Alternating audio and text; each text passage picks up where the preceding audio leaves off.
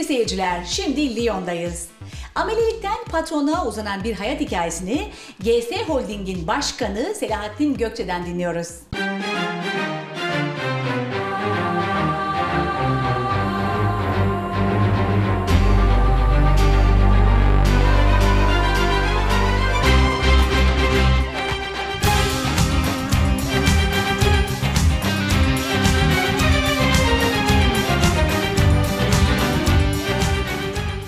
seyirciler, bugün sizlere bir kariyer hikayesinden bahsedeceğiz. Efendim merhabalar. Teşekkür ederim. Merhaba.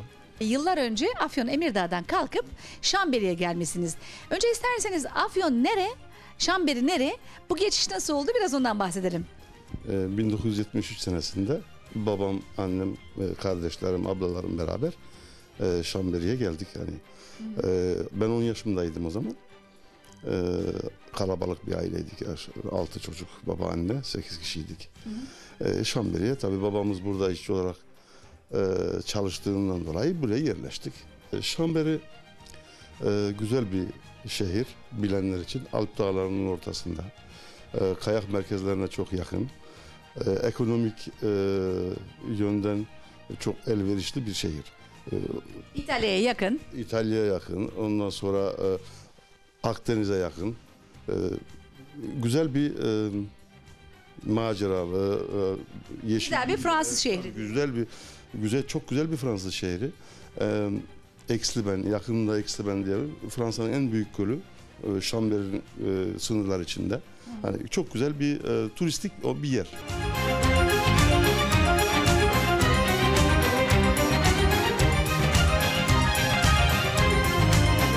İnşaat sektöründe böyle büyük bir şirketin sahibisiniz. Daha doğrusu şirketler topluluğunun sahibisiniz. Nasıl oldu bu hikaye? Ee, nasıl oldu bu? Çalışmakla oldu. Nasıl çalıştık? Tabii e, aile kalabalık olunca babamın aylığı yetmedi. E, ben de okulda çok başarılı bir öğrenciydim.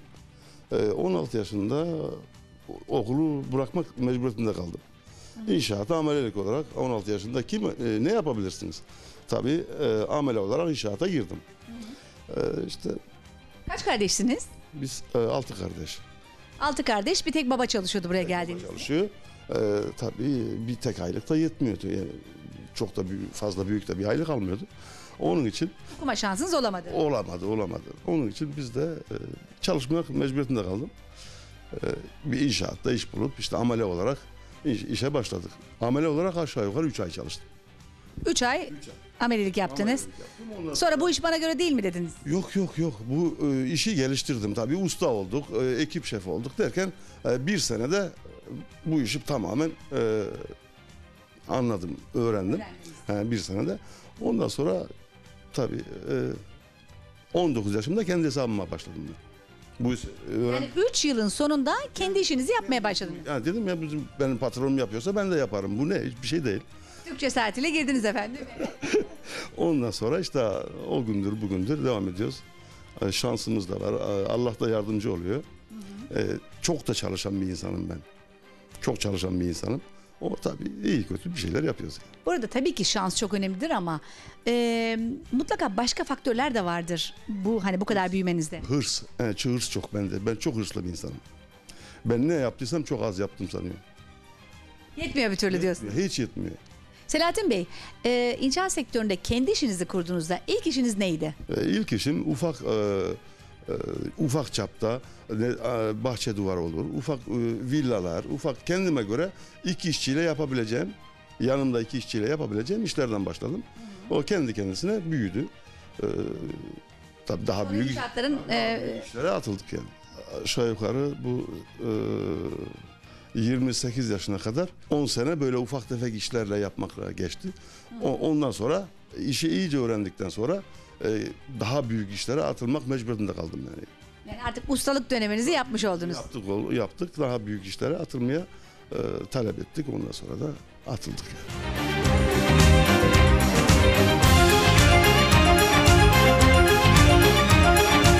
Şu anda e, sanıyorum 5 ayrı şirketin e, birlikte olduğu bir grubun başkanısınız siz şu anda değil mi? Nedir bu şirketler efendim? Şimdi e, GSB GSB inşaat sektöründe. Evet. E, biz e, GSB'nin yaptığı işler e, ne bileyim e, in- inşaat sektöründe bütün betonarme işlerini yapar GSB. Ondan sonra GSP var. O da prefabrikasyon e, hazır, önceden hazır yapılmış e, inşaata e, merdivenler, ondan sonra e, e, kiriş kalıpları buna benzer inşaat. Hep bizim e, işimiz inşaat. Hani Evet. ondan- İnşaatın farklı alanları. farklı alanları. Ondan sonra GSI o da anahtar teslimi yapan şirketimiz. Ee, GS'de onlar da e, o da e, arsa araştırıp arsa bulur, proje çizer. Ondan sonra GDB, GDB'de Granop'la bize yakın olduğu için 50-60 kilometre oraya da bir aynı betonarme şirketini kurduk yani. Bir nefeste zor söyledik ama beş tane Beş. şirketi saydık. Fransa'nın nerelerine kadar yaptığınız ürünleri ya da inşaatları gönderebiliyorsunuz? Ee, Ro- Ronald, Ronald bölgesinin aşağı yukarı hepsine olduğumuz yerden e, 150-200 kilometre açılabiliyoruz. Sizin sektörünüzde e, aynı işi yapan e, Türk firmaları var mı efendim başka? Bizim sektörüm, benim benim sektörümde bunların hepsini bir yerde yapan yok. Farklı farklı, işler. Farklı farklı yapanlar var ama bunların hepsini bir yerde yapan yok.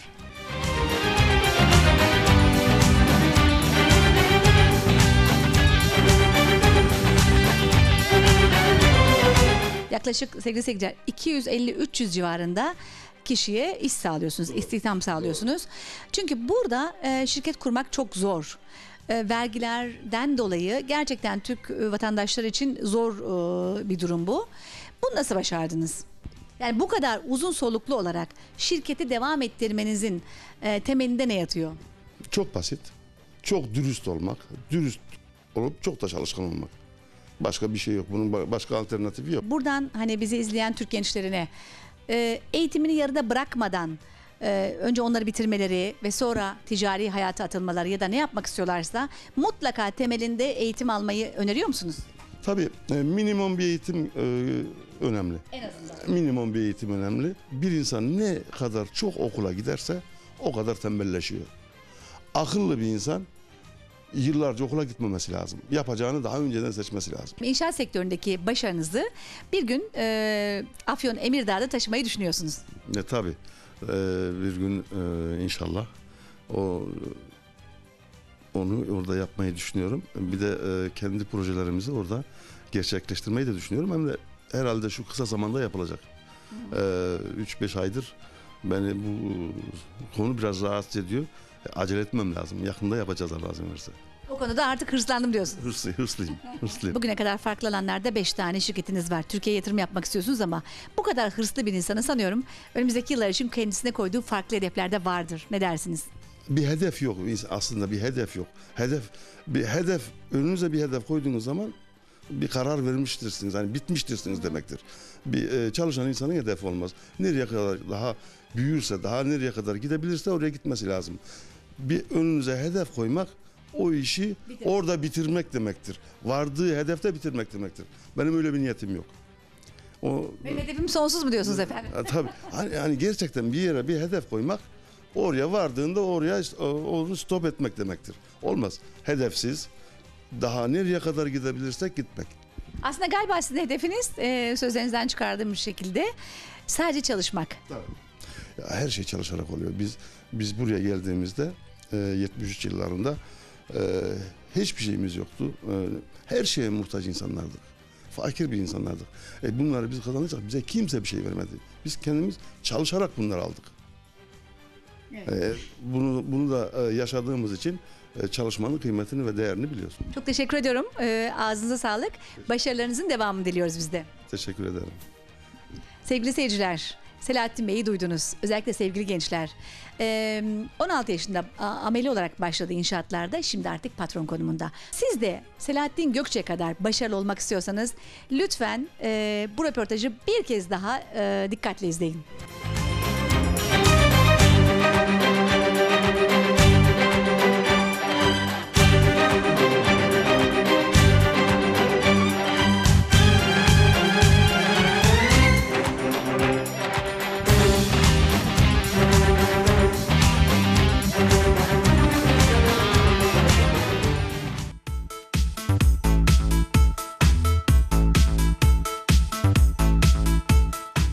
Evlilik hazırlığı yapanlar ekran başına. Düğün salonundan takıya tüm detaylar az sonra Avrupa Vizyon'da. Patronlarının patronu olan bir Türk, Recep Akın. Şimdi Frans Bozum sahibi Recep Akın'ın hikayesini dinlemek üzere Marsilya'ya gidiyoruz.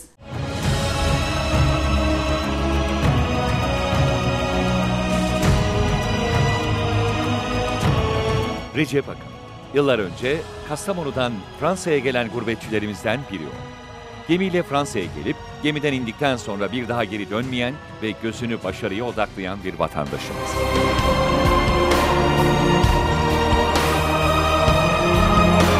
Recep Akın'ın hikayesi tam bir başarı öyküsü. Yıllar önce yanında çalışıp işi öğrendiği patronlarına patronluk yapacak kadar ilginç hem de.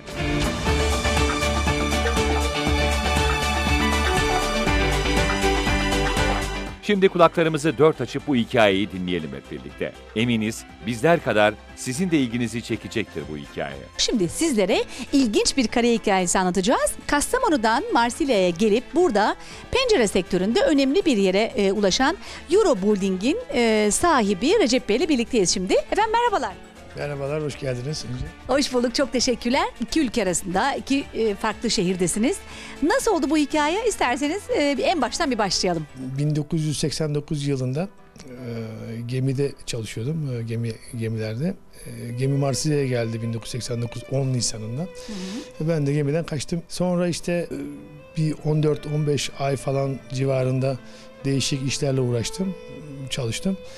14 ayın sonunda da e, Lejyon'a girdim. Yani paralı asker oldum. Hemen burada bir e, ara verelim istiyorum. Türkiye'de gemilerde çalışırken Marsilya'ya geldiniz. O zaman aklınıza var mıydı e, Fransa'ya yerleşmek? Vardı zaten. Gemiye onun için girmiştim. Gemide çalış, çalışma niyetim yoktu. Gemiye girmemin tek nedeni zaten gemiden kaçıp kaçmaktı. Yani ayrılmaktı. Bir yabancı bir ülkeye gitmekti. Çünkü o zamanları zaten Türkiye'de ben kendime bir gelecek göremiyordum. Yani gelecekken benim için dışarıdaydı. Biraz da Fransızcam vardı. Onun için Fransa'yı tercih et- ettim. Ee, var ya, yani vardı zaten kafamda kaçmak kesinlikle kaçmak vardı. Gemiden kaçtığım zaman önce e, benim e, gayem İsviçre'ye gitmekti. Yani orada da Fransızca konuşuluyor ya. Ee, ama burada zaman içinde kaldık, bir yere gidemedik. Sonra işte burada çalıştım falan, Ee, 14 ay falan işte e, değişik işler uğraştım. Sonra e, Lejyon'a girdim, paralı asker oldum. Etrafımızdaki insanlar dediler işte böyle böyle bir... Zaten ben de duymuştum Türkiye'den. Yani Türkiye'den biliyordum Lejyon Etranger diye bir yer var, yabancılar alıyorlar falan. O aklımdaydı zaten. Her zaman onu bir köşeye koymuştum. Yani hiçbir şey yapamasam oraya girerim diyordum. İmtihanlardan geçiriyor, fiziki ve zeka testlerinden geçiriyor falan. Ben onları başarmışım demek ki beni aldılar. Recep Akın 6 yıl paralı askerlik yaptıktan sonra ayrılarak sivilde çalışmaya başlamış. Askerlik yaparken şimdiki işiyle ilgili staj yapmış ve bu işi de o sırada öğrenmiş. 1996'da kendi şirketini kurarak iş hayatına atılmış ve şimdiki şirketi Franspoz'u kurarak bugünlere getirmiş. Lejyon'u bırakırken bizim bir staj yapma hakkımız var. Ee, staj rekonversiyon sivil deniyor. Yani birliklerimizi dışarıda bir yerde çalışabilmemiz için e, bizim bir, formasyona ihtiyacımız olduğu için bir staj yapmamız lazımdı. Ee, onlar tarafından bedeli ödeniyor zaten stajın Lejyon tarafından. O stajı yaptım. Ben bir sene bir staj yaptım e, İngiltere sınırında. E, Menüzeri d'agencement diye. Yani işte e, plan, proje üzerine e, pencere, inşaatın planlarını, projelerini falan yapmasını öğrendim orada. E, 96'da da şirket kurdum. Şirketi e, 96-99 benim o küçük şirketim devam etti. 99'da modifiye yaptım, onu değiştirdim, biraz büyüttüm şirketi. Adını da işte e, Franspoz koydum. E, 99'dan e, şimdiye kadar hala Franspoz devam ediyor. Recep Akın Franspoz'u kurduktan sonra şirketinin yerini de satın alarak imalata girişmiş.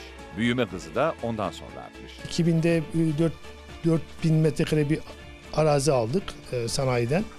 2005'te de e, üzerine bina yaptık. İşte bu gördüğünüz binayı yaptık. Burası işte 1300 metrekare civarında kapalı alanı var. E, burayı yaptık ve burada imalata başladık. Daha önce de başka yerden alıyorduk. e, montaj yapıyorduk. Sonra işte burada imalata başladık 2006'da. Sadece alüminyum imalatı yapıyorduk. Alüminyum, pencere doğrama, işte cephe, dış cephe, e, kaplama falan yapıyorduk. Hani Türkiye'de mantolama deniyor. Onlardan falan yapıyorduk. Sonradan da 2010'da e, PVC de yapalım dedik. Onun da imalatına başlayalım dedik. Ee, bizim yan tarafımızda boş bir arsa vardı. Belediye o belediyeye sordum bu arsayı başkasına satmış. Neyse buldum sahibini. Ee, aldım orayı da. Aldım ve oraya da bir bina yaptık. İki seneden bu yana imalat devam ediyor. PVC imalatımız orada orada. Alüminyumu da burada yapıyoruz. O günden sonra hızla büyüyen Recep Akın, işe başladığı zamanlarda yanında çalıştığı patronunun da patronu olmuş. Hem de bir değil, iki patronuna patronluk yapmış. Şimdi hayatta her şey oluyor. Boynuz kulağa geçer derler bizim oralarda. Bunun en iyi örneği de galiba şimdi karşımızda duruyor. Evet öyle bir şey oldu herhalde. Çünkü e, ben e, 89'da ilk geldiğim zaman tesadüfen bir, e, bir arkadaşla tanıştım. O da Çatalzeytin asıllıydı yani benim hemşerimdi. Tesadüfen bir yerde tanıştık. E, işte ben de hemşeri olduğumuzdan dolayı e, ben dedi e, bu pencere falan dedi montaj işleri yapıyorum dedi. E, eğer işe ihtiyacın olursa beraber çalışırız dedi. Ben dedim tabii memnuniyetle zaten dedim hani benim çalışacak işim falan yok. İşe Yani ihtiyacım- iş arıyorsunuz. Tabii iş arıyorum. Ee, o, o beni aldı işte onun evinde kalıyordum bir de bir Fransız bir hanımla evliydi. Aynı zamanda evinde de kalıyordum. Beraber işe gidiyorduk işte yani ben onun yanında 10 ay falan çalıştım. Yani benim bu işlere girmemin e, sebebi o. O vesile oldu. Sonradan da Kimdi efendim o? e, Niyazi Özdemir. Niyazi Özdemir aslen Çatalzeytin ama Karabük'te oturuyor. Ee, yani benim bu işlere girmeme vesile olan adam. O zaman e, isterseniz röportajımızda kısa bir ara verelim. Niyazi Bey'in yanına gidelim. Bugünleri bir de ondan dinleyelim. Tabii memnuniyetle.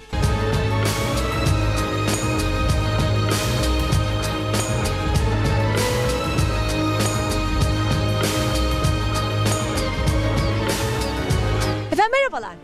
Merhabalar, iyi günler. Recep Bey'e işi öğreten kişi sizsiniz değil mi? Evet, benim e, oturduğum yerde başka arkadaşlar vardı İzmirli. Dediler böyle böyle senin Marinya'ndaki şehirde bir arkadaş var. Onun üzerine gittim, aradım ve buluştuk yani bu şekilde tanışmış olduk. Marangoz mesleğinin e, Fransa'da e, en eskilerinden olduğumu size söyleyebilirim. Arkadaş e, yanımda çalıştı. Mesleği çok hızlı şekilde, güzel bir şekilde de çalışıyordu. Çok da memnundum.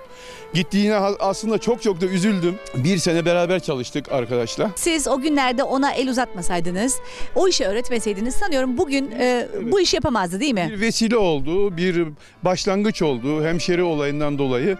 Ee, bugün de hepimizin e, gerçekten keş- keşke Türk vatandaşlarımızın hepsi aynı şekilde bu mücadeleyi verip de gururla Türkiye'deki holdingcilerimiz gibi hepimiz böyle büyüyebilse Evet. ülkemizde bu kadar daha kalkınacağına inanıyorum. Recep Bey'in hani bir gün bu kadar büyüyebileceğini tahmin ediyor muydunuz? Kesinlikle düşünemiyordum bile. Gerçekten e, gurur verici yani. Arkadaşın zaten e, askerlikten sonra 5-6 as- sene askerlikten sonra e, kendisini zaten e, çok sağlam bir karakteri olduğunu ve biraz da eğitiminden, her şeyinden sağlam bir karakteri olduğunu, işe işe sarıldığını, cesaretli bu işi başaracağına inancım sonsuzdu ama bu derece büyüyeceğine inanmıyordum ve gerçekten süratli ve hızlı çalışıyordu. O zamanlar bana çok para kazandırdı aslında. evet. Beraber e, ilişkilerimiz e, hala da kopmadı. Her zaman da benim işimi de o görmüştür yani hala da görür.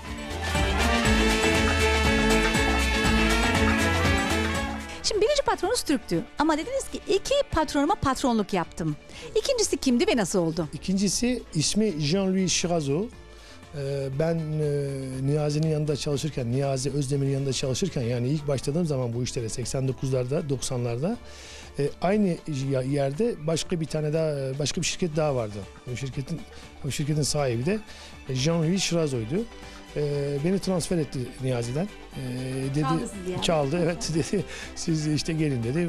Daha güzel şartlarla bana daha bir başka bir iş teklif etti. Ben de kabul ettim. Onun yanında çalışmaya başladım. Onun yanında da 8 ay falan çalıştım. Tesadüfen onunla bir yerde karşılaştım. Tamamen tesadüfen. Bir pencere firmasında yine karşılaştık. İkimiz de orada bir, bir nedenim vardı demek ki. Sonra işte e, bu dedi ben dedi iş arıyorum dedi. Bana dedi 3-4 senelik bir iş lazım. Emekli olacağım dedi sonradan dedi. Ben de onu aldım ve işte çalıştırdım. Sigortayı, sigortalı yaptım benim yanımda. E, bundan 3 sene evvel de emekli yaptım gönderdim.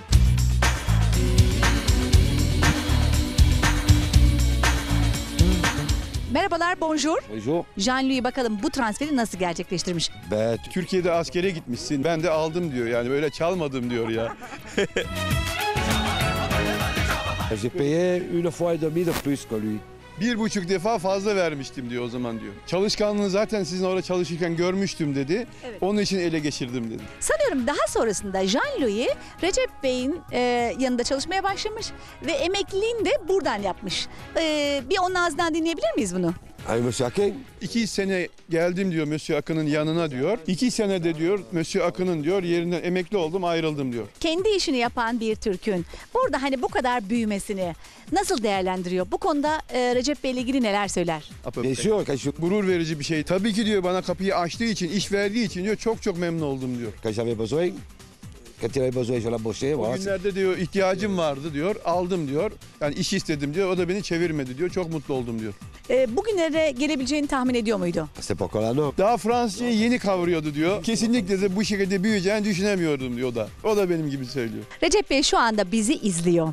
Acaba kendisine buradan söylemek istediğiniz bir şey var mı? Recep Akın'ı e, takdirle her şeyini, mücadelesini, e, sabırsız, gece 11'lere kadar büroda çalıştıklarını bildiğim için takdir ediyorum ve gurur duyuyorum. E, tebrik ediyorum kendisini. Comme on dit.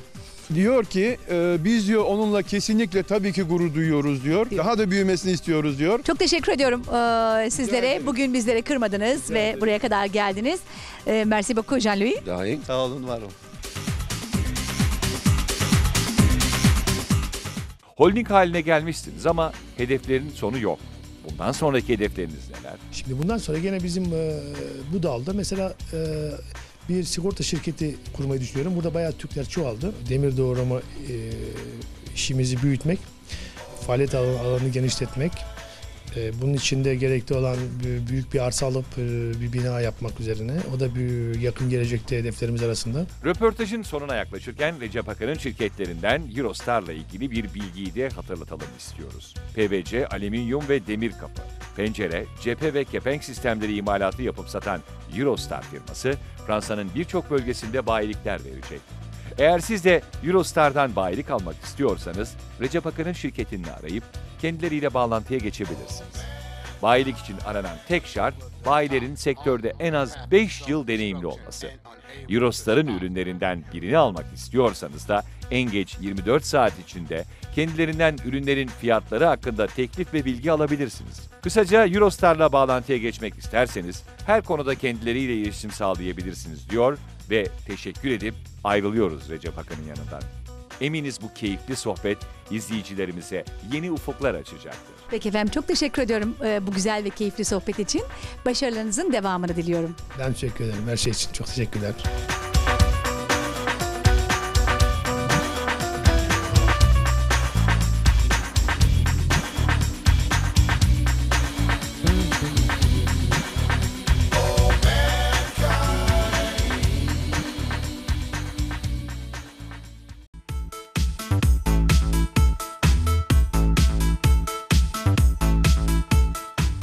Evlilik hazırlığı yapanlar ekran başına. Düğün salonundan takıya tüm detaylar az sonra Avrupa Vizyon'da. Melihcan'ın sunduğu Avrupa Vizyon reklamlardan sonra devam edecek.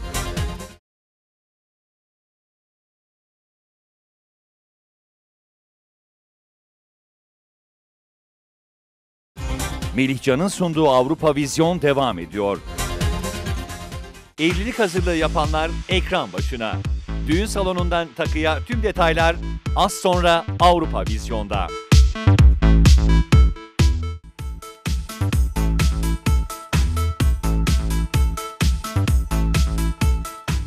Sevgili seyirciler, şimdi Fransa'nın Nancy kentine gidiyor ve Erdal ve Bedi Arslan çiftinin kariyer hikayesini sizler için araştırıyoruz.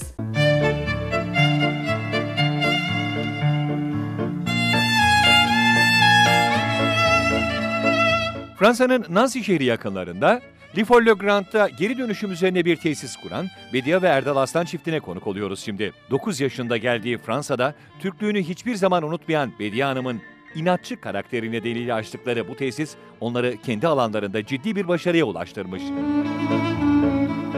Bediye Hanım 15 yaşında başladığı iş hayatına evlenip anne olduktan sonra kısa bir ara vermiş. Ancak evde oturmaktan çok hoşlanmadığı için bebeği biraz büyür büyümez iş aramaya koyulmuş ve o sıralar yeni açılacak olan bir geri dönüşüm tesisinde çalışmaya başlamış. Ve işte şimdiki başarının kaynağı da o günlerde oluşmuş. Gelin şimdi bu hikayenin devamını Bediye ve Erdal Aslan çiftinin kendilerinden dinleyelim. Sevgili seyirciler, şimdi Fransa'nın Nancy taraflarındayız ve sizlere gerçekten çok ilginç bir kariyer hikayesi anlatacağız. Neredeyiz? VD3E firmasının e, yerindeyiz, merkezindeyiz. Buranın kuruluşu çok ilginç. Hikayesini şimdi buranın sahiplerinden dinleyeceğiz. Bizimle beraber siz de birçok şeyi bu röportajda öğrenmiş olacaksınız.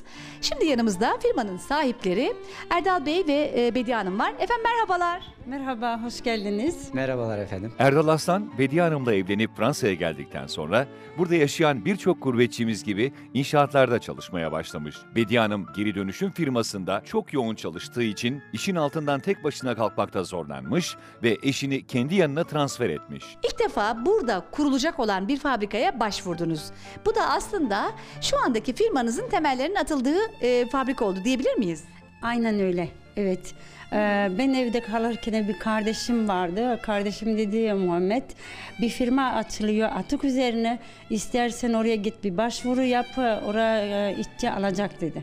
Ben de oraya başvuru yapıp da CV'mi koyunca yani ne kadar bu meslek, e, bu iş çalışmak istediğimi gösterince e, Onlar bir- size işe aldılar. Bir gün sonra işe aldılar beni. Ee, Benim beyim e, inşaatta çalışıyordu ve oraya ekip şefiydi. Yıllardır orada çalıştı.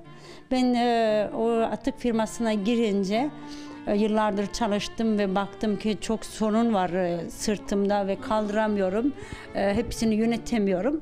E, Rica ettim. Benim yanıma gelip işinden çıktı ve e, benimle çalışmayı tercih etti. Aslan çifti birlikte çalışmaya başlamış ama bu durum ilk zamanlarda onlar için bir hayli zor olmuş. İlk e, başta e, doğrusunu söyleyeceksem çok zor oldu. Çünkü benden emir alıyordu.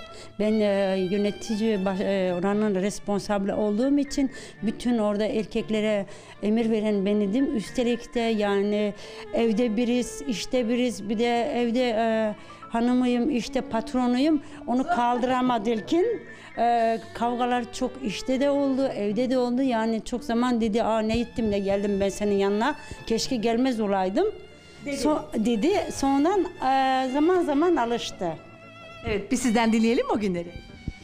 E, Zaman ilk zamanlar gerçekten zor oldu ama yani öyle de bir şey olmadı yani böyle bir kırıcı bir şey olmadı yani. Pek birbirimizi kırmadık yani anlayışla karşıladık. Bediye Hanım çalıştığı firmada yöneticilik yapmaya başladıktan sonra firmasını kısa sürede başarıya ulaştırmış ve hatta firmanın diğer bölgelerdeki yerlerinden çok daha verimli hale gelmesini sağlamış. Firmaların verimliliğini araştırmak amacıyla gelen Fransız denetimci kendisinden sonrası için iş isteyince Bediye Hanım dayanamayıp patronlarından ona iş vermelerini istemiş. İstemiş ama bu da onun sonunu hazırlamış. Orada bir müdürümüzden anlaşamadık. Yani e, benim beyimi karı koca bir firmada çalışamaz diye maalesef ayırmayı tercih etti. Beyim attı.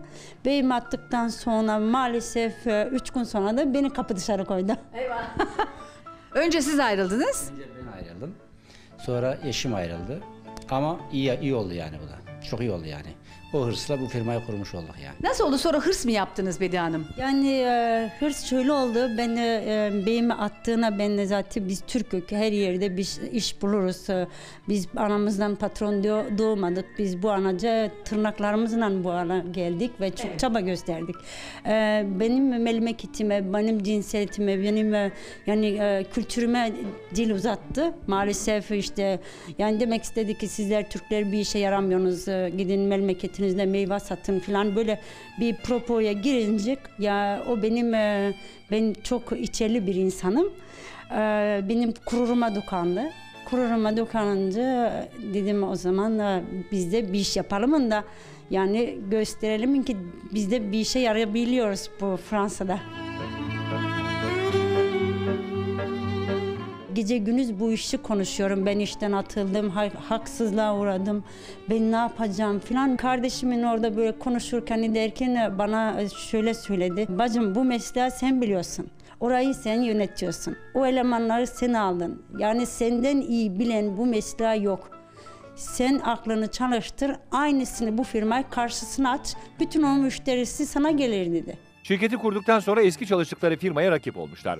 Ancak her şeylerini kaybetmek ilk anda onlara da çok zor gelmiş. Çok zor oldu. İlkin ben kaldıramadım e, evimizi dört kat satmayı yani gerçekten bana çok ağır geldi. O anlar e, yani cehennemin bir parçasıydı. Çok kötü anlar yaşadık. Cehennem değil de yani yani biz şirketi kurduk acaba çalışır mı, çalışmaz mı? Acaba müşteri bulabilir miyiz? Bazılar dedi hatta ya bunu çalıştıracak 3 ay veya 2 ay de, diyen de oldu yani bunları da duyduk. Allah'a şükür her Dosta düşmana mahcup olmak da vardı tabii ki değil mi? o da vardı. Ama bir risk aldık. Çok büyük bir risk aldık ama girdik yani. Bunu Fransızlar da söyledi. Sizin yaptığınız iş küçük bir iş değil dediler. Biz de çalıştık gece gündüz, gecemizi gündüzümüze kattık. Hala da aynen devam ediyoruz yani. Erdal Bey'e soruyoruz. Acaba şirkette görev dağılımını nasıl yapıyorsunuz? Bediye Hanım genelde e, bürolere bakıyor. E, görüşmelere gidiyor. Ben genelde e, atölyeyle uğraşıyorum, içi personelle uğraşıyorum. Yani büro ve satış bölümünde Bediye Hanım var. Ee, imalat ya da e, im- imhalat mı diyelim ne diyelim buna? o bölümde de siz varsınız galiba değil mi? Ben varım yani. Bediye Hanım sektöründe oldukça başarılıymış. Bediye Hanım'ın bu başarısını gören sektörün en büyük kuruluşu SİTA'da onlara %37 ortak olmuş. Dedi ki bir kadın işi değil aslında yaptığınız iş ama sektörünüzde çok başarılı bir kadınmışsınız duyduğumuz kadarıyla, öğrendiğimiz kadarıyla.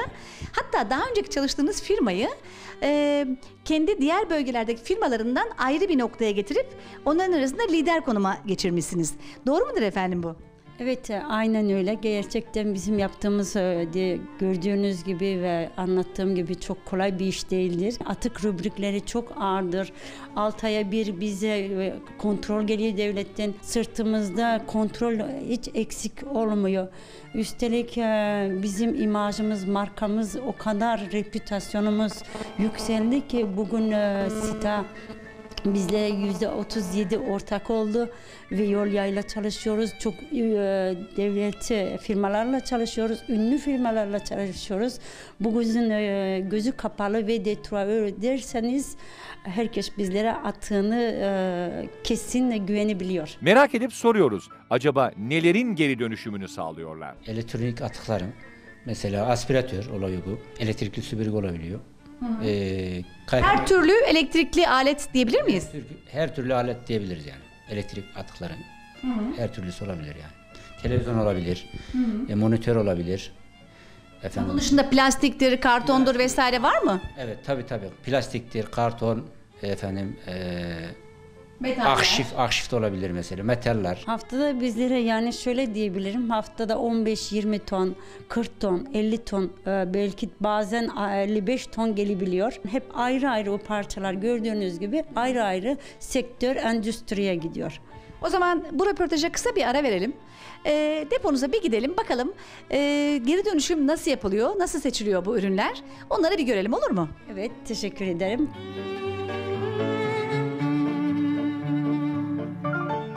Sevgili seyirciler şimdi depodayız. Buraya baktığınız zaman hani burası bir teknoloji e, çöplüğü gibi duruyor ama aslında öyle değil. Burası gerçekten değerli bir yer. Bu mallar gördüğünüz gibi bizim SMD diyen Türkiye'de e, yani bunlara belediye atığı diyorsunuz. Bizlere bu atıklar o 88 bölgesinde bir depoda birleşiyor. Birleşince haftada 60 ton bizlerin ofisine tırla geliyor. Tırla gelince buraya mallar dökülüyor. Dökülünce bizim 3-4 tane elemanımız e, bu ma- malların yağını alıyorlar, e, kaprusunu alıyorlar. Yani depolüe deniyor Fransızca. Onun ayırıyorlar. pilini alıyorlar. Onların diyelim e, kondansatörünü, ka- toner, kartuş onlar alınıp da bu mallar hazır olduktan sonra şu tarafa bölgeye konuyor. Ve İkinci aşamada dediğim gibi biz yüklüyoruz. Burada tartıya gidiyor. Tartıdan sonra Rimondis firmasına gidiyor. Firmadan bu aynen kamyonla e, makinenin içine giriyor. Yani kamyon kaldırıp döküyor içine. Bu paramparça oluyor. Makinenin bir sürü dişleri vardır, elemanları. Yani p- parça şeyleri onlar plastiğini, bakırını, altını altınını, gümüşünü her şeyini makineye ayırdım ediyor. Aldığımız parçalar da hepsi işe yarıyor. Kartonlarda arşivler geliyor. Dokümanları elemanlar seçiyor beyazlarını, kartonlarını e, seçtikten sonra makineye girecek. Makine parçalıyor. Parçaladıktan sonra onu tekrar bal yapıyoruz kompakti.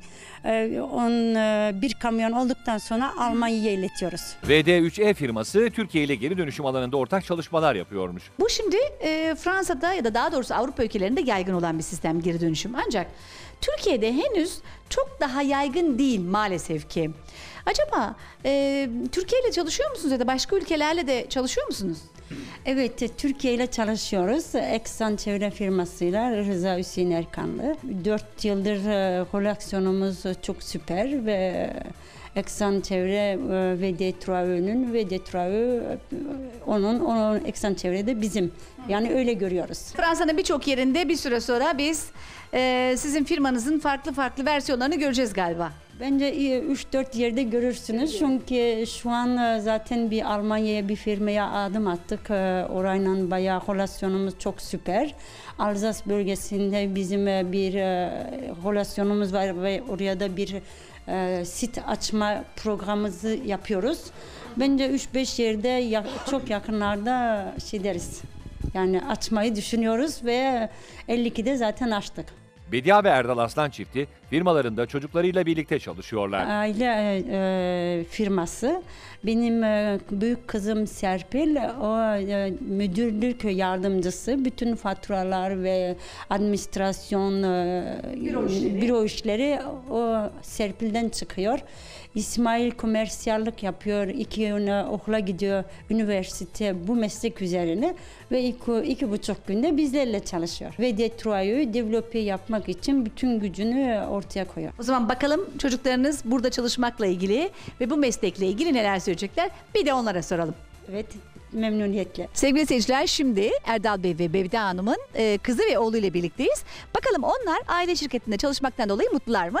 Merhabalar. Merhabalar. Sizi bir tanıyalım mı? Benim adım e, Serpil.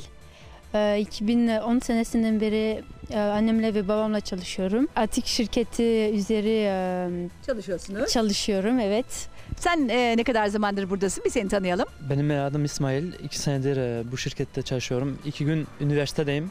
Diğer günleri iş, işteyim yani. Burada çalışıyorum. Aile şirketinde çalışmak bazılarına göre avantaj, bazılarına göre dezavantaj. Siz ne düşünüyorsunuz bu konuda? E, benim için avantaj. Çünkü e, ambulans şirketinde çalışıyordum daha evvel. Ve e, şimdi yani çok rahatım. rahatım çünkü hiç e, sorumluluğu aldım. Annemle babam bize güvendiği için yani kolayca bırakabiliyor tabii. Benim için avantaj. Çünkü babam ve annem için çalışıyorum. Bu şirketi yani büyütmek istiyoruz. Tanıştırmak istiyoruz. Peki çok teşekkürler. E, kolay gelsin size. Teşekkürler size de. Teşekkürler. İyi günler. Aslan çiftini işten çıkaran müdürü sonrasında çalıştığı şirketi iflas noktasına getirmiş. Şimdilerde ise Aslan çifti artık onlara iş vermiyor. O firma battı. O firma battıktan sonra yani o firmanın duvarlarını başka firmaya sattılar. Ee, geçen sene yani e, bundan bir yıl önce duvarların başka firma aldıktan sonra o firma bizlerle telefon açtı ve bütün hikayeyi kapatıp yeniden başlamamızı rica etti. Çünkü o firma bitti diye söylediler. Şu an ee, Biz o firmayla çok iyi çalışıyoruz ve üstelik o firmaya iş veriyoruz. O firmanın da işçileri bizden iş istiyor. İyi ki de beni bu işten atmış. En azından işimizi kurduk. Ee, Bu e, iş sahibi olduk. Yani shift deferimizi ikiye, üçe, dörde, beşe katladık. Ee, Dört katı sattığımızın iki misli, üç mislisini daha iyi alabildik. Yani bence e, iyice düşürüp de geriye bakarsam bize çok büyük bir iyilik yapmış diyorum. Bu ilginç başarı hikayesini bizimle paylaştığınız için size çok teşekkür ediyoruz. Son olarak söylemek istediğiniz bir şey var mı? Öncelikle sizlere çok teşekkür ediyoruz. Bizlere önem verip ta Türkiye toprağımızdan buraya da gelip e, röportaj yapıp e, gurbetçilerin böyle halini dinleyip bizlere destek olduğunuz için çok çok teşekkür ediyoruz. Buraya kadar geldiniz, zahmet ettiniz. Elinize ayağınıza sağlık. Buradan Türkiye'ye herkese çok çok selam.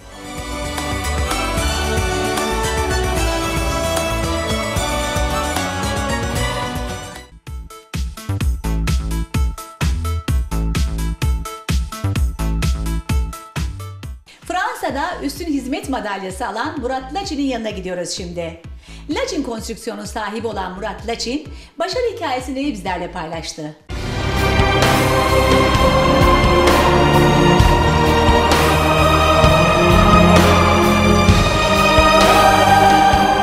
Genç yaşına rağmen inşaat sektöründe çok başarılı işler yapan Murat Laçin'in hikayesi eminiz sizlerin de ilgisini çekecek.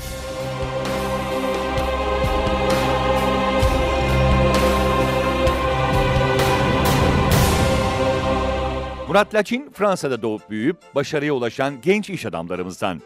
Ailesi yıllar önce Bayburt'tan göçüp Fransa'ya işçi olarak gelenlerden. Bu hikayenin devamını öğrenmek üzere şimdi vizyon mikrofonlarını Murat Laçin'e uzatıyoruz. Sevgili seyirciler, şimdi Güney Fransa'nın Beziye e, şehrindeyiz. E, burası Türklerin çok da fazla yoğun olmadığı bir şehir aslında ama e, baktığımız zaman başarılı Türklerin sayısında da e, bir hayli e, rakam var. Burada e, Lacin Konstrüksiyon'dayız. Yanımızda Lacin Konstrüksiyon'un sahibi Murat Bey var. Kendisi e, bu bölgede e, yaşamış, doğmuş, yaşamış iş adamlarımızdan, genç ve başarılı iş adamlarımızdan. Şimdi e, onun hikayesini kendisinden dinleyeceğiz. Efendim merhabalar. Merhabalar, adım Murat Laçın. Aslen e, Bayburtluyum. E, Fransa doğumlu, 33 yaşındayım, evliyim, 3 çocuğum var. Murat Laçin okulu bitirdiğinde hemen bir şirket kurmak istememiş. Bir süre başkalarının şirketlerinde çalışıp deneyim kazanmak istemiş. Sonrasında da kendi işini kurmuş. E, okulu bitirince e, hemen bir şirket kurmak istemedim. E, büyük bir firmada çalışayım, kendimi geliştireyim. E, büyük bir firmaya girdim Beziye şehrinde. O Fransız firma. Fransız firma yetenekleri görünce beni iki senede Perpignan'a okumaya yolladı. Daha da geliştirmek için. Yani etüt betonarme üzerine. E, yani mühendisliğe yaklaşıyoruz. E, elhamdülillah diplomamızı aldıktan sonra e, babama e, baba şimdi hazırım e, inşallah başlayabiliriz dedim. Şirket kurulduktan sonra büyüme hızınız nasıl oldu diyoruz ve duygulanıyor Murat Bey. Biz hazıra konmadık. Her şey sıfırdan başladı. İlk arabamız, ilk işler derken ilk iş arabamızı hiç unutmam. Çünkü eski bir arabaydı. E, Müşterinin inşaattan gitmesini bekleyip de itilip çalıştırmayı düşünüyorduk. O derecede başladık. Yani eski araba olduğu için. Elhamdülillah şimdi de e, flot olarak mesela altta belki 20 tane araba e, duruyor. Her şey çalışma, çalışmakla oluyor. Laçin Konstrüksiyon bir aile şirketi. Yönetim Kurulu Başkanı Murat Laçin. Murat Bey'in yardımcıları ise iki erkek kardeşi ve bir eniştesi. İki e, kardeşim de yanımda, erkek kardeşim. Bir de eniştemiz yanımda. E, tabii ki aileden, e, kuzenlerden, e, dayım e, bizle çalışıyor. E, aile yanımızda sayılır. Peki aile şirketi olmak e, bu işte bir avantaj mı dezavantaj mı sizce? Her iki yönü de var. Tabii ki biz avantajlı bölümünü seçtik. E, şu an çok güzel e, anlaşıyoruz, çalışıyoruz. İnşallah böyle devam eder. İnşallah. E, dezavantajlı bazı durumlar oluyor ama onlara da katlanıyoruz. Murat Bey isterseniz e, şimdi kardeşlerinizin yanına bir gidelim. E, ve bakalım onlar bu aile şirketinin genişlemesi konusunda e, neler söyleyecekler. Kendi e, bakış açılarıyla Laçin Konstrüksiyonu nasıl görüyorlar? Sevgili seyirciler şimdi yanımızda e, Murat Laçin'in kardeşi Fatih Bey var. E, onun buradaki görevini kendisinden dinleyeceğiz. Bakalım şirket içerisinde nasıl bir paylaşım yapmışlar. Efendim merhabalar.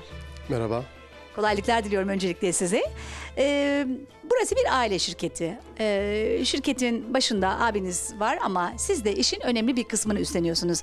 Tam olarak şirkette göreviniz nedir? Şirkette dış işlerinden ben ilgileniyorum. Ee, müşterilerinden görüşme olduğu zaman ee, işte fiyatlar anlaşma gerektiği zaman ee, öyle şeylerden ben ilgileniyorum. Yani teknik konular size ait değil mi? Evet. Ee, ne kadar zamandır e, şirketin içindesiniz? Yani başından beri kardeşinizle beraber miydiniz burada? Evet. Başından beri buradayız. Burası bir aile şirketi. Acaba aile şirketi olmanız işlerinizi nasıl etkiliyor? Evet hep beraber güç birliği yapıyoruz. O yüzden iyi oluyor. Bir Türk şirketi yani sizin şirketiniz e, Fransa'da kendi alanında çok başarılı şirketlerden bir tanesi. Hatta e, bununla da ödüllendirilmişsiniz. Acaba neler hissediyorsunuz? Gittikçe müşteriler e, markayı gördükleri zaman marka diye tanıtıyorlar. Laçın e, markasını. E, çok gurur duyuyoruz yani. Sevgili seyirciler şimdi Laçin Konstrüksiyon'un bir diğer ayağındayız. Ee, Murat Bey'in bir küçük kardeşi Özkan Bey ile birlikteyiz. Bakalım o e, şirketin hangi aşamasında neler yapıyor? Merhabalar. Merhaba. Siz e, bu şirketin hangi aşamasında neler yapıyorsunuz? Ben e, ekibin sorumlusuyum. Hı hı. Kendi ekibimin sorumlusuyum. E, temellerden olsun, çatıdan olsun, e, işçilere malzeme götürmek, getirmek olsun. Onlardan ilgileniyorum. Hı hı. Yani e, şirkette yapılan işlerin bir bölümü sizin sorumluluğunuzda. Oradaki daha çok sahada diyebilir miyiz sizin işinizi? Ben genellikle daha çok sahada koşturuyorum. Hı hı. Abim olsun, e, benim küçük birader olsun daha çok büroda e, çalışıyorlar. Hı hı. Peki şimdi e, sahada olmayı siz mi tercih ettiniz yoksa hani bir görev paylaşımında bu size düştü mü? E, ben de düştü.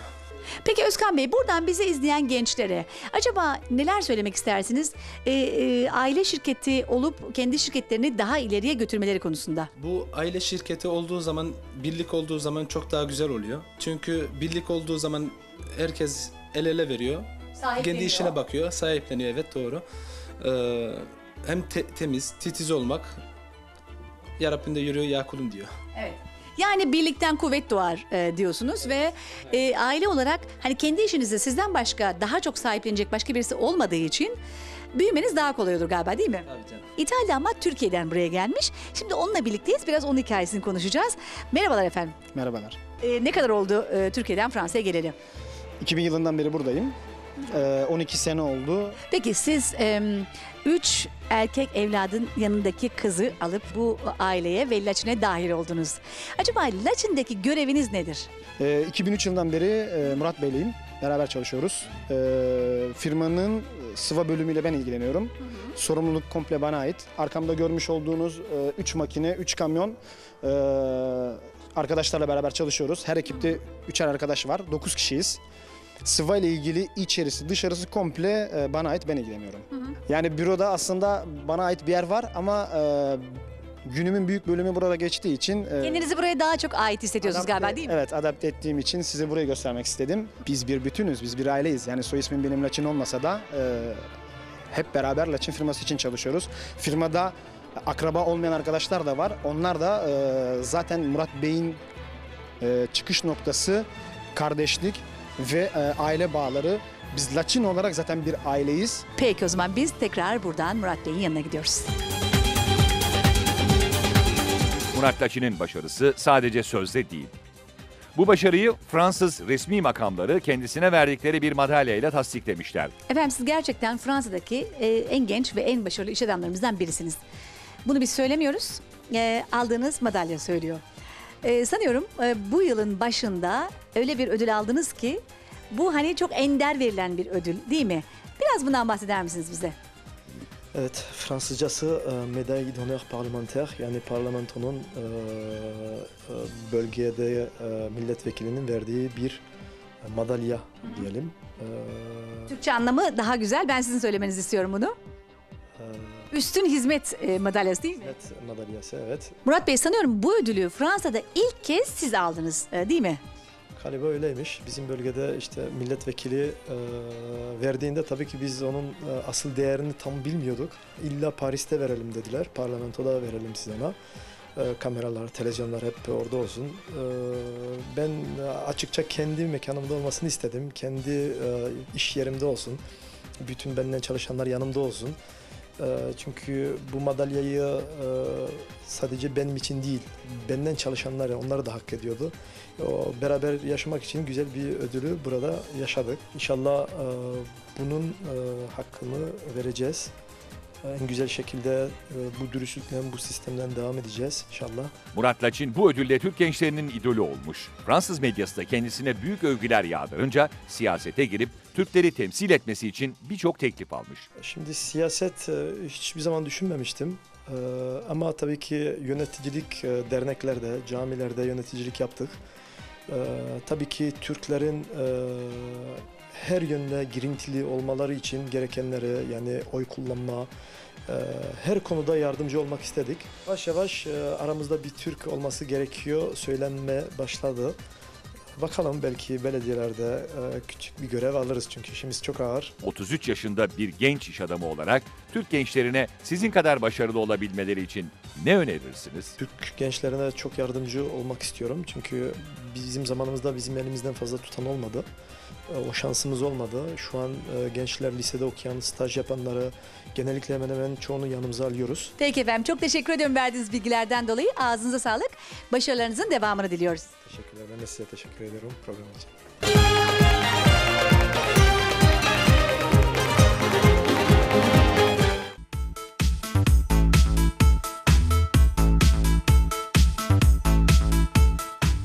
Evlilik hazırlığı yapanlar ekran başına. Düğün salonundan takıya tüm detaylar az sonra Avrupa Vizyon'da. Melihcan'ın sunduğu Avrupa Vizyon reklamlardan sonra devam edecek.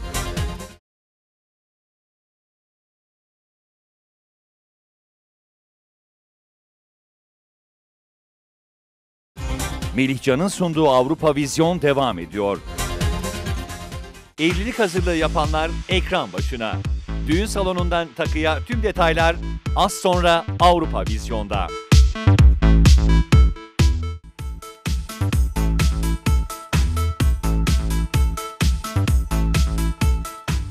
Sevgili seyirciler, Avrupa'da düğün sezonunun hız kesmediği şu günlerde şimdi sizleri düğünler için takı beğenebileceğiniz Dore kuyumculuğa götürüyoruz.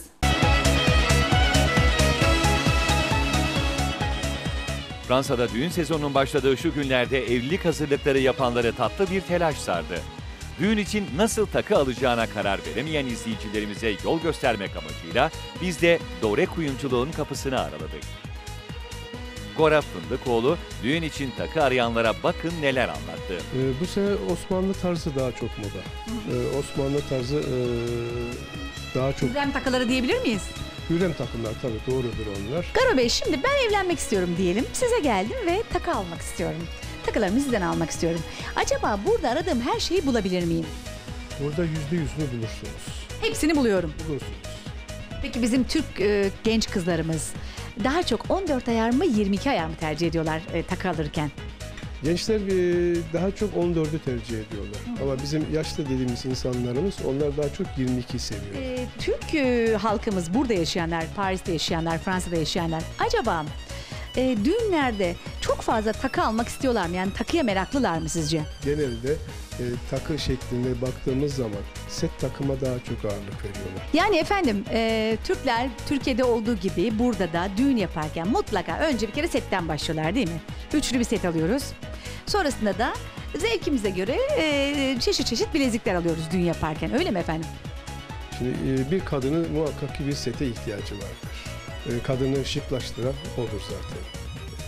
Artı e, kendi bütçelerine bağlı olarak da bilezik, yüzük veya saat olarak bunları temin ediyorlar insanlarımız. Eğer altınlarınızı daha önceden aldıysanız ve yeni moda takılarla değiştirmek istiyorsanız onun çaresi de Dore'de mevcut. Peki efendim diyelim ki e, anne babalar zamanında yatırım için altın almışlar. Hani kızım evlenir, oğlum evlenir o zaman takarım diye. Ancak yeni nesil elbette ki hani değişen zevklerine göre kendisi almak istiyor. Anne babalar acaba şunu diyebilir miyiz? Yani eski altınlarınızı getirin burada en az zararla e, yenisiyle değiştiririz diyebilir misiniz? E, Tabii ki biz bunu aynı Türkiye'deki gibi altın alımı satımı veya kendilerinin istedikleri bir modelden kendi altınlarla onları biz yapıyoruz. Ve kendilerine sunuyoruz yani istedikleri modelleri. Yani. Yani çok büyük bir e, zarar etmeden e, yeni evlenecek çiftlerin zevkine göre yeni modellerle bunları değiştirebilirler değil mi? Muhakkak tabii ki değiştirirler. İstedikleri modelleri yaparız biz kendilerine. Burada beğendiğiniz modeli bulamadınız mı? Sorun değil. En geç iki haftada beğendiğiniz model elinizde. Şimdi Türkiye'de her gün değişik modeller çıkıyor. Evet. Bizim insanlarımız bunu çok takip edin yapıyorlar. Burada olmadığı sürece biz kendilerine istedikleri modelleri katalogdan gösterip beğenisine sunuyoruz onları. yani. İstediği markanın istediği modelini e, Türkiye'den getirtebiliyor musunuz?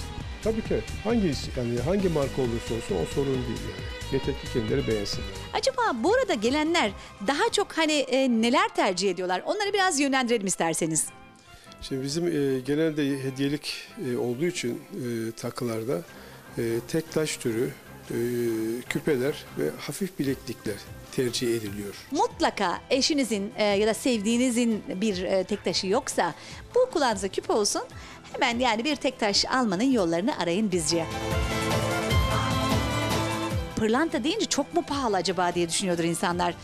E, bir tek taş almak için ne kadar para ödememiz lazım minimum? Pırlantalı tek taş dediğimiz zaman bugün 300 Euro'dan başlayıp 700-800 Euro'ya kadar çıkan pırlantaları var. Tabii ki bunlar kalitesine göre değerlendiriliyor. Peki Garo Bey şimdi birinci sırada tek taşlar dedik. Sonrasında neler geliyor? Tek taştan sonra hitap ettiğimiz şey küpedir. Bizim insanlarımız, bizim kadınlarımız vazgeçemediği bir olay e, küpedir. Hepimizde küpe vardır. Yani çocuğumuz dahi 6 aylık olduğu zaman kulağını deldirmeye gelindi. Gelindi buraya.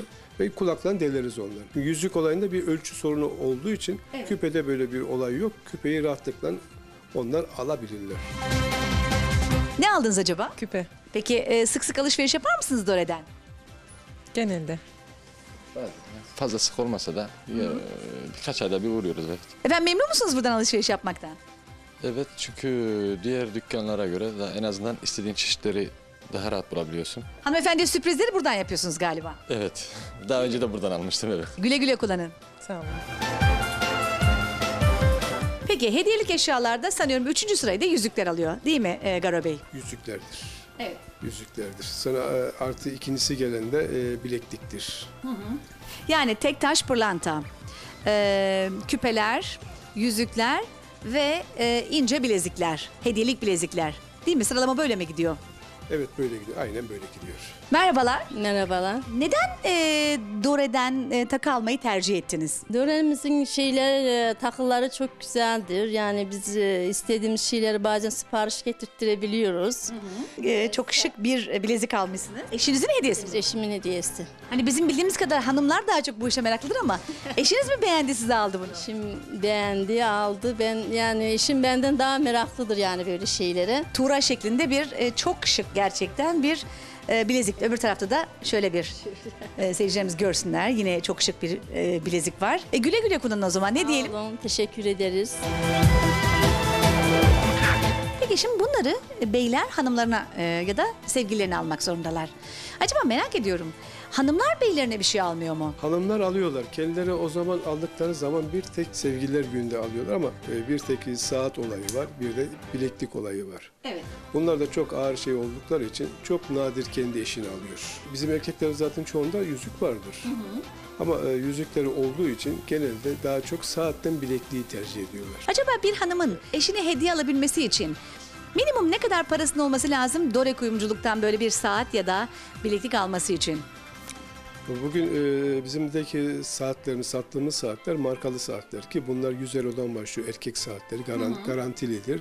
Artı bir de alabileceği kendisine uygun olan bir şey bir erkeğe bir yüzüktür. Efendim o zaman önce kendi bölgenizde yaşayan, ardından Paris, sonrasında da Fransa'nın farklı bölgelerindeki yaşayan vatandaşlarımızı buraya bir davet edelim. Sizin e, 2012-2013 sezonundaki takılarınızı bir görsünler değil mi? Zaten bizim yeni sezonumuz açıldı. Evet. Düğün sezonu da açıldığı için yeni takılarımız gelmiştir. Ee, biz insanlarımız istiyoruz ki gelsin öncelik bizleri görsünler, takıları baksınlar, beğendikleri bir şey varsa biz onlara sunarız. Bir acı kahvenizi içsinler değil mi efendim? Muhakkak e, en başta biz insanı tanımak isteriz ki Evet. sonra alışveriş olsun. Peki efendim çok teşekkür ederim. Ee, kolaylıklar diliyorum size. Çünkü biz de röportaj için gerçekten zor bir ara bulduk e, yoğunluktan dolayı. Çok teşekkürler. Biz teşekkür ederiz ki buraya kadar geldiniz, bizleri burada tanıttınız insanlara. Çok çok teşekkür ederiz, sağ olun. Her yerden altı almak doğru değil. Eğer kuyumcunuza güveniyorsanız değiştirmeyin diye öneriyor ve mikrofonlarımızı Dore Kuyumculuk'tan alışveriş yapan müşterilerimize uzatıyoruz. Bakalım onlar neden Dore'yi değiştirmiyor? Neden e, Dore'den e, takı almayı tercih ettiniz? Dönemimizin şeyler e, takıları çok güzeldir. Yani biz e, istediğimiz şeyleri bazen sipariş getirttirebiliyoruz. Gelsinler buyursunlar e, kuyumcu dükkanımızdan her şeylerimiz müsait, güzel şeylerimiz var. İstediklerini sipariş getirtirebilirler. Buradan beyime de çok selam söylüyorum. Beyim çok sağ olsun. O yani böyle şeylere çok meraklıdır. Merhabalar. Merhabalar. Siz tanıyabilir miyiz? Ben İbrahim Taraklı. Ee, az önce gördüm galiba eşinize yeni yılda yaklaşıyor. Bir hediye aldınız değil mi? Evet. Ne aldınız acaba? Küpe. Ee, eşinizin e, yeni yıl hediyesi diyebilir miyiz buna? Öyle gibi. Fevkalade olmuş. Bilezik sipariş vermiştim ve kırmadılar sağ olsunlar. Çok çok çok güzel yapmışlar. Yani şu anda düğün arasında mısınız? Evet, evet. Çok güzel geçti. Kalabalıktı. İki arada bir derede Dore'ye gelmenizin sebebi neydi? Ben devamlı geliyorum. Burada yani e, istediğimi bulabiliyorum. Neden buradan e, alışveriş yapıyorsun sürekli? Çünkü buraya geldiğim zaman bir aileye gider gibi çok yakın hissediyorum. Benim için e, insanlık çok mühim. Hoş karşılamak çok güzel. Bulamadığım bir şeyi de istediğim zaman ya da şöyle diyorum model olmasa bile yapıyorlar sağ olsunlar. Bir de sizleri gördüğüme de çok sevinçliyim. Heyecanlıyım biraz kusura bakmayın. Sizi öpüyorum. Çünkü yakından görmek çok e, daha güzel.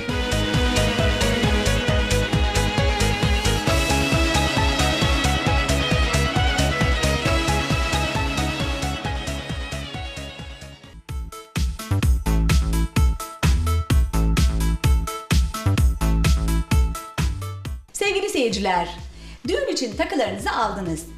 Peki nasıl bir salonda evlenmek istiyorsunuz? Şimdi bu sorunun cevabını araştırmak üzere Dünya Düğün Salonu'na gidiyor ve bir düğün salonunda olması gereken özellikleri onlardan dinliyoruz.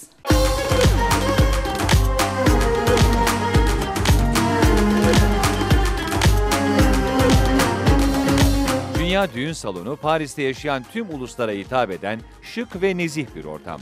Toplantılar, düğünler, konserler için aranan tüm özelliklere sahip. Gelin şimdi hep birlikte Dünya Düğün Salonu'na gidelim ve burayı birlikte tanıyalım. Sevgili seyirciler, şimdi Paris'te yeni açılan Dünya Düğün Salonu'ndayız. Yanımızda buranın sahiplerinden Yılmaz Bey ve Erol Bey var. Ve hem düğün salonunun özelliklerini konuşacağız hem de Paris'te e, ilk defa yapılan uygulamaları konuşacağız kendileriyle. Efendim merhabalar. Merhaba. Merhabalar. Merhabalar. Siz sanıyorum üç ortaksınız ama üçüncü ortak şu anda yanımızda yok değil mi? Bir günlük meşguldür gelmedi. Peki efendim üçüncü ortağınız e, kimdir? Erdem Kaplan'dır. Kendisi Yozgatlıdır. Bizim eski iş, iş arkadaşlarımızdan çoktan beri 20 senelik tanıştığımız bir kişidir. Çok sevdiğimiz bir kişidir. Onun için birleşip üçümüz ben Yılmaz, Erdem birleşip kendi beraber böyle bir, bir şey kurmaya çalıştık. hı. O da Dünya Düğün Salonu diye ismini tanıttık. Salonunuzun ismini Dünya Düğün Salonu koymuşsunuz. Neden bu ismi koydunuz? Çünkü biz e, dünya düğün salonu kurduğumuz için bütün herkese hitap etmek için Türk- Kürtler olsun, Türkler olsun, e, Araplar olsun. e, buradaki dünya dünya ismi internasyonel bir isim olduğu için biz onun için kullandık. Kimse darılmasın diye dedik en güzel isim dünya düğün salonudur. Yani dünyanın bütün vatandaşlarına hitap edebilmek için yaptığınız işi de hemen peşine takarak düğün salonu ibaresini kullanarak hatta logonuzda dünya e, resmini kullanmışsınız. Değil mi? O nedenle bu ismi tercih ettiniz. Biz e, dünya ve dediğiniz doğrudur. Dünya logosunu kullandığımız için çünkü logosu e, dünya ismi zaten bellidir. Dü- Dünya demek lo- dünya dünyayı tarif etmektir. E, logoda zaten biz onun için dünya logosunu kullandık. Paris'te düğünümüz var ama yakınlarımızın hepsi düğüne gelemiyor. Sorun değil. Burada alacağınız bir internet kodu yakınlarınızın da düğününüze katılmasını sağlıyor. Ben çok düğünlere gittiğim zaman baktım bazı ailelerin ailesinin burada olmayan gelin ve damat taraflarında onu kullanmamız için yani onlara e, güzel bir şey Türkiye'de olsun diğer ülkelerde olsun seyretmeleri için direkt seyretmelerini e, böyle bir sistem kurduk. Yani webten düğünü canlı olarak izleyebilecekler değil mi? İnternetimiz var. Site internetimize giriyorlar. Kodlar veriyoruz. O kodlarla istediği kişilere, istediği ailelerine bütün dünyaya dağıtabiliyor ve aynı gün ve aynı saniyede de, se- seyretme imkanları var. O kodları verdiğimiz anda bir düğün sefer- bir günkü olan düğüne tek o kod verir. Bir dahaki düğünlerde her düğüne düğüne kodlar değişir. Evet. Çünkü bunu biz e, sa- şeyini e, güvenli al- al- almak zorundayız.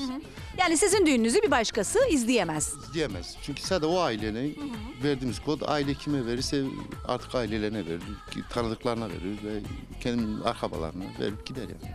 Yani Türkiye'nin en ücra bir köşesinde isek bile ya da dünyanın çok uzak bir yerindeysek bile o verdiğiniz şifrelerle girip anında Paris'teki, Fransa'daki bu düğünü canlı olarak izleyebiliyoruz değil mi? Aynı öyle can o kodları verdiği sürece de kodları vurduğu sürece de bizim burada bütün e, kamera sistemi robo kamera kamera sistemidir. Hepsi böyle 360'a dönüp de yakınlaşmasına hepsi biz kendimiz o imkanı tanıtıyoruz. Gelini ve gelmesiyle ve ana babasıyla konuşma sistemi de yılbaşından sonra itibaren koyuyoruz. Orada direkt annesiyle ve kardeşleriyle, ailesiyle, amcasıyla yani yakınlarının hepsine konuşma şartı da var yani.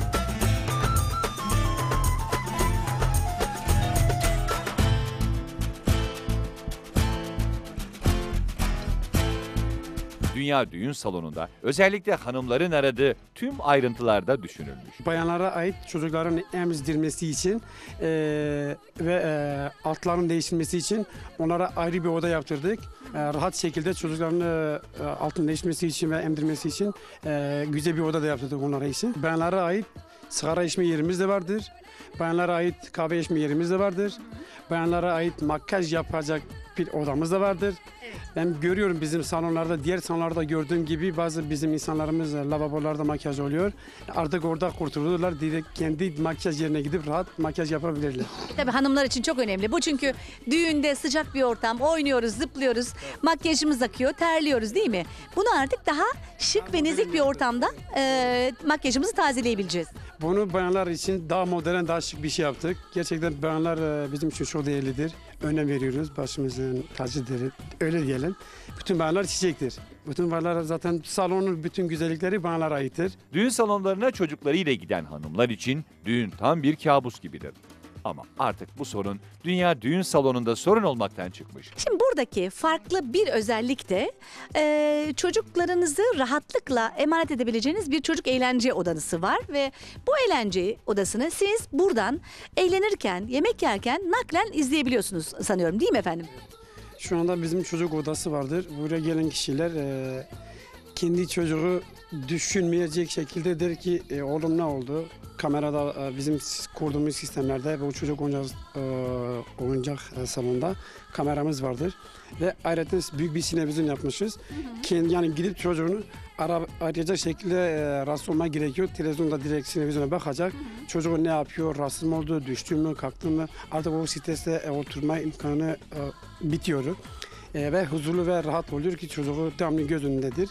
Yanında olmasa bile sinevizyonda göz önünde gördüğü için rahat oluyor ve artık o geceyi daha rahat geçirebilirler. Salondaki koyduğumuz 3 tane büyük sistem sinevizyon şeyi vardır. Halay oynadığı zaman bile devamlı sinevizyonlarda sağ, bir sağda bir solda bir de e, önde şeyler vardır. Bu büyük sinevizyonlar olduğu için hangi tarafa dönerse sinevizyon göz önündedir. Çocuğunu merak etmesi için bile devamlı sinevizyonda da görebilir. Artık e, huzurlu bir şekilde halay da oynayabilir, dans edebilir, yemeği de yiyebilir. E, yani bütün e, eğlence e, şeyini kusursuz yapabilir. Zaten adı üzerinde Dünya Düğün Salonu. Bütün dünyayı kapsamış oluruz. Ve buraya gelen, şu anda biz e, buraya gelen düğün sahipleri gerçekten 2-3 tane düğün yaptık. Adamlar bizden çok memnun. Dedi sizin kaliteniz, sizin şeyleriniz çok şahanedir. Biz dedi artık burası bizim yerimizdir. Tabii ki yani düğün sahipleri olarak, salon sahipleri olarak biz değiliz. Salon milletindir. Evet. Buraya düğünü yapan kişi bir kere daha düğüne gelmiş gibi oluyor. O lafı da kullanabilir. Erol Bey siz de bir babasınız. Ee, sanıyorum siz de gittiğiniz düğünlerde bu tür sorunlar yaşadığınız için herhalde burayı kurarken öncelikle hepinizin aklına e, o salon geldi değil mi? Yani genellikle öyle biz gittiğimiz düğün sah- düğünlere yani çocukların orada yaramazlığı şeylerini öyle bir şey öyle bir sistem kurdu ki anneler ve babalar rahat bir şekilde düğünde halay ve küçük veya danslık yapmaları için yemek yemeleri için öyle bir sistemi mecburiyet yani o çocuklar için çocuklar için ve ana babalar için. Benim kendim üç tane çocuğum var yani bir yere gittiğim zaman onlara nöbet çıkarıyordum. Böyle bir sistemi hiçbir yerde yok ve hiçbir yerde de bulunmaz.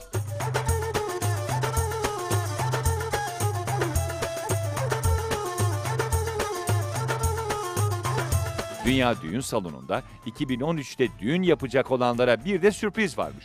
Şu anda gelin damat için ayrı bir oda yapmışız. Sigara içmesi için, yemek yemesi için, e, biraz dinlenmesi için. Tabii ki burada çok geç saatlere kaldıkları için bizim düğünleri biliyorsun saat 2'ye kadar devam ediyor. 12'den başlıyoruz 2'ye kadar. O, tabii ki gelin damat devamlı burada oturacak hali de yok. Her tarafta gelin damat odası var ama sizinki daha farklı. Bir kere daha geniş, yemek rahatlıkla arkadaşlarıyla birlikte yemek yiyebilecekleri bir oda ve gelinin hani makyajını tazeleyebileceği bir ortam değil mi? Evet. Ondan sonra 50 metrekare alanındadır. Gelin odası 50 metrekare. 50 metrekare alanında yani arkadaşlarıyla da bütün çevresiyle oturmak şartıyla. Yani Paris'te 50 metrekare ev bile e, zor bulunuyor efendim gerçekten. Sizin burada 50 metrekare e, gelin odanız var gerçekten güzel. Gelin odanız e, bu şekilde.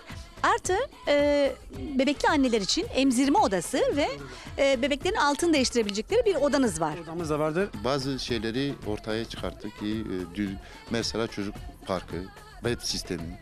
Bunların hepsini herkese yönelik bir, bir salon açmaya çalıştık ve şu anda insanlarımızın gerçekten açıkta Gerçekten öyle. Erol Bey peki şimdi e, Paris'in trafiği meşhur. Herkes biliyor ki yani bir yerden bir yere gitmek çok zor ve arabayı park etmek çok zor. Acaba sizin buraya ulaşım nasıl sağlanacak? Park olayı e, nasıl burada? Bizim buradaki park olayından hiçbir sü- sorumuz yok. Çünkü kendimize ait e, 450 tane park alanı kendimize aittir. Bir de yan taraftaki park alanında hiçbir sorun yok. Sanayi bir bölgesinden olduğu için yani hiçbir şüphe yok. Hiçbir sorun olmayacak. Sorun yok yani. Onda hiçbir şüphemiz yok, hiçbir sorumuz da yok. Buraya ulaşım Paris'teki ve diğer civarına oluşması iki tane otoban geliyor. A5 ve A6 geliyor. İkisinin çıkışındadır. Yani ulaşım üzerine Paris'teki ve otobanlardaki hiçbir sorunumuz yok. Sadece buradaki Çok rahat ulaşılabiliyor. çok rahat bir şekilde ulaşabiliyor. Yani hiç hiçbir sorun yok. Yani bizim yani dediğimiz gibi gördüğünüz biraz önce çevrede yani hiç kuş sesinden başka bir şey duyamıyoruz. Evet gerçekten çok e, nezik bir ortamda e, yeriniz. Peki efendim çok teşekkürler. İyi seneler efendim. Size de iyi seneler bütün kamera arkadaşlarımla ve sizlere de herkese. Biz de size de iyi seneler diyoruz. ATV grubuna da teşekkür ederiz. Ee, bir dahaki sefere bekleriz. Eğer siz de evlilik hazırlıkları yapıyorsanız dünya düğün salonunu görmeden karar vermeyin deriz. Bizden hatırlatması.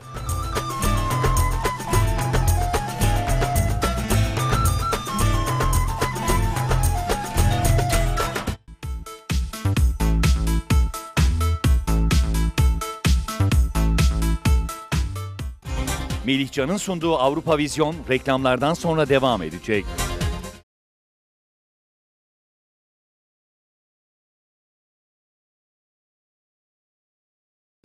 Melihcan'ın sunduğu Avrupa Vizyon devam ediyor.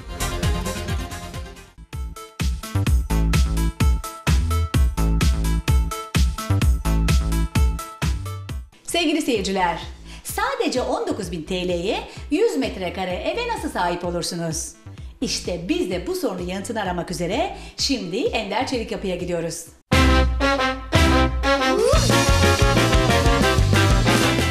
Çok kısa bir sürede ev sahibi olmak mı istiyorsunuz? O zaman bu haber tam size göre.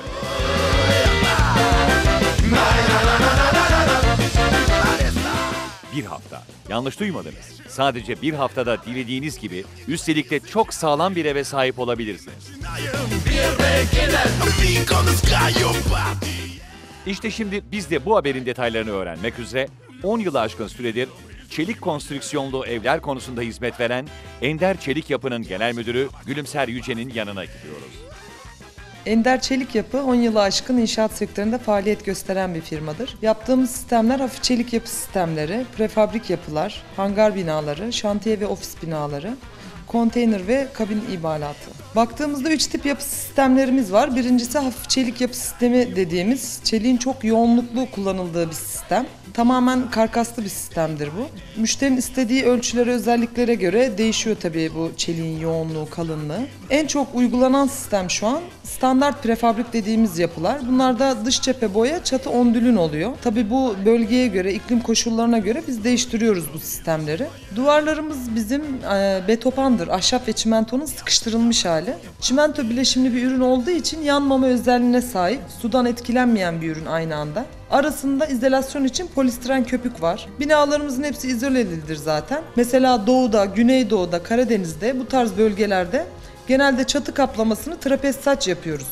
Mesela bir güneydoğuya bakıldığında çok yoğun bir kar yağışı altında kalıyor. Ondülün çatı kurtarmaz onu. Trapez saç yapıyoruz, eğimini dikleştiriyoruz. Bölgeye elverişli bir hale getiriyoruz. Trapez saç olduğu zaman e, kar çatının üstünde kalmıyor.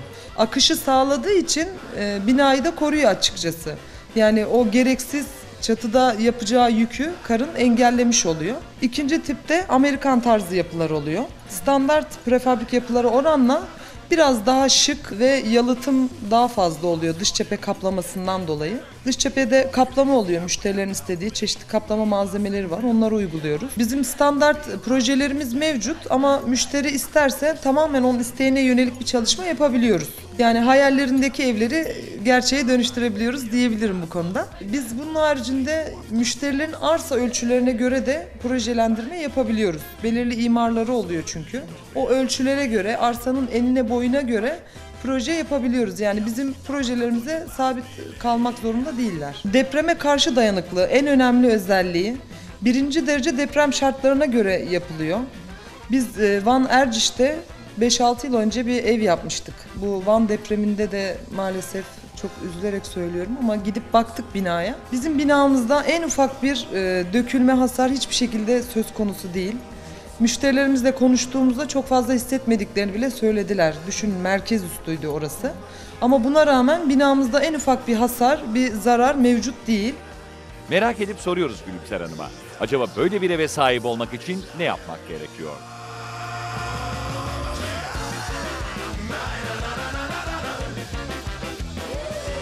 Prefabrik yapılar çok daha e, kısa sürede imal edilip monte ediliyor.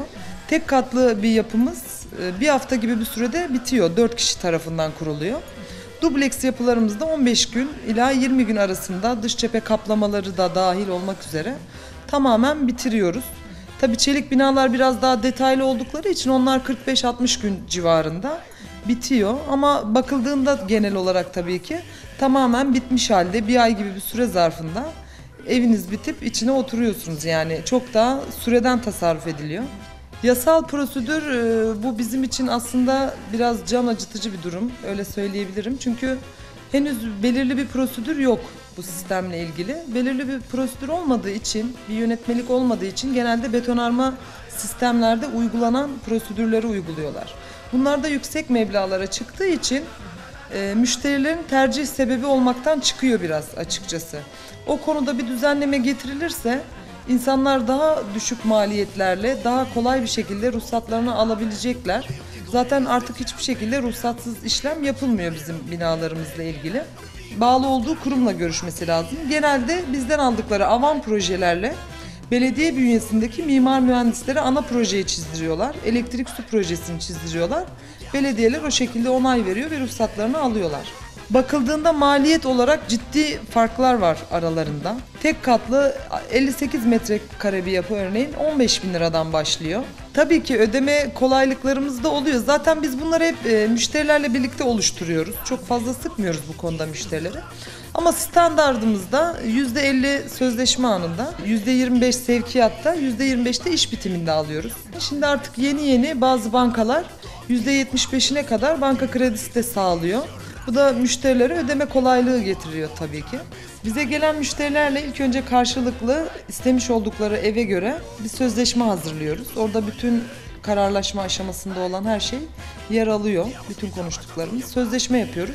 Sözleşmeden sonra biz müşterilere bina projesi veriyoruz ve zemin betonu projesi veriyoruz.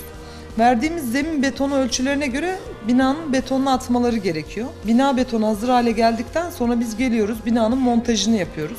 Montajcılarımız montajı bitirdikten sonra müşterilerimiz yer kaplamalarını, şap seramik işlemlerini yapıyorlar. Onlar bittikten sonra bizim boyacı grubumuz geliyor. İç ve dış boyayı yapıp teslim ediyoruz. Sistem bu şekilde oluyor. Gülümser Hanım bu evlere gurbetçi vatandaşlarımızın ilgisi nasıl?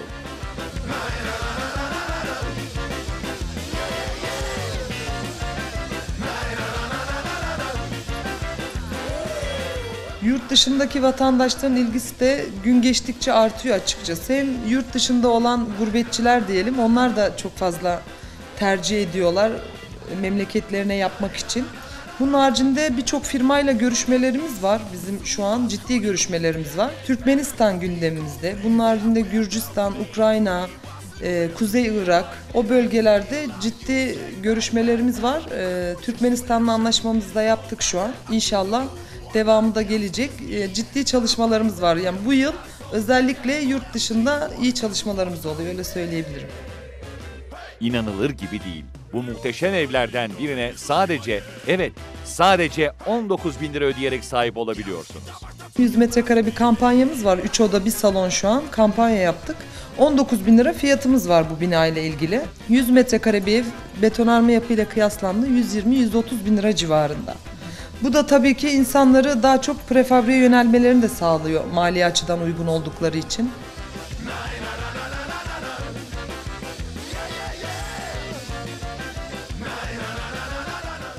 Hem güvenli, hem lüks, hem de ucuz olan bu evlere ilgi ise gitgide artıyor.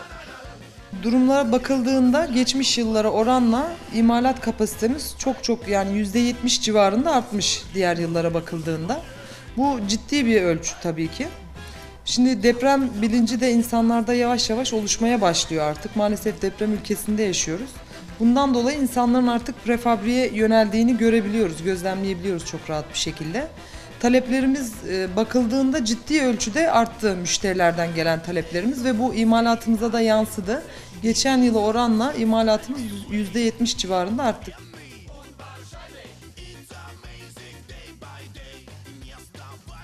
Arkadaşım tavsiyesi üzerine geldim.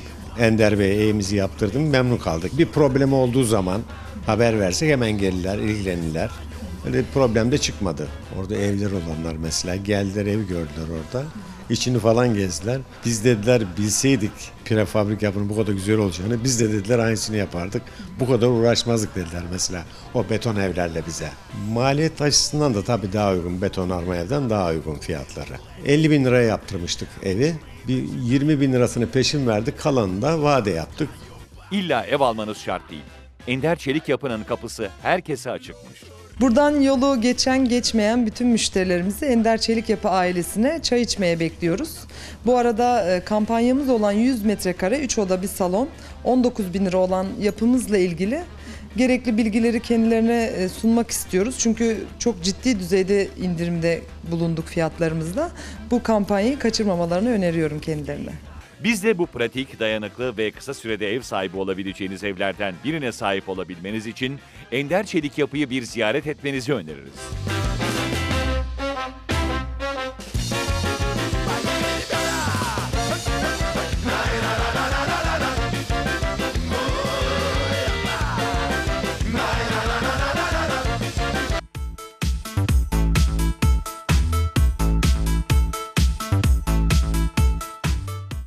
Seyirciler, bu haftada bizlere ayrılan sürenin sonuna geldik.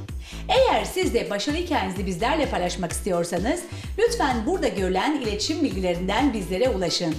Haftaya tekrar görüşebilmek umuduyla. Hoşçakalın, vizyonunuz geniş olsun.